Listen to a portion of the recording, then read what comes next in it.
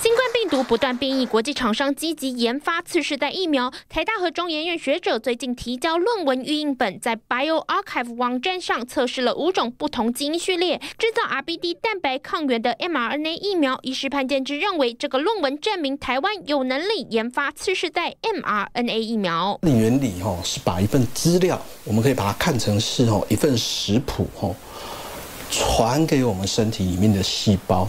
那这份食谱吼，就会教我们自己的细胞自己去合成疫苗。国际疫苗大厂莫德纳和辉瑞也在研发次世代 mRNA 疫苗，目前也都还在研发阶段，尚未有成果发表。国内有没有能力研发制造次世代 mRNA 疫苗？台湾相对的制造能力，如果加一把劲，那是会有。那研发的部分现在是有一些关键的技术，可能有专利的门的门槛。